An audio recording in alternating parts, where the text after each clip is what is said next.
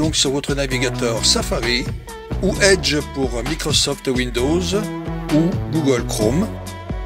Vous êtes donc sur Google et je voudrais traduire ce qu'il y a d'écrit car c'est écrit en anglais. Donc je fais un copier-coller du texte que je veux traduire en français.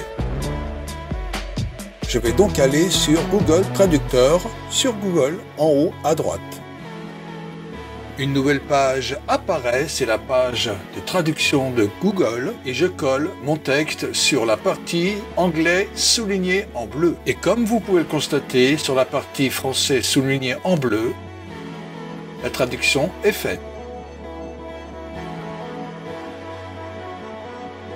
Voilà. Si vous avez aimé cette vidéo, n'hésitez pas à mettre un like et à vous abonner. Et à bientôt sur Ordi 94.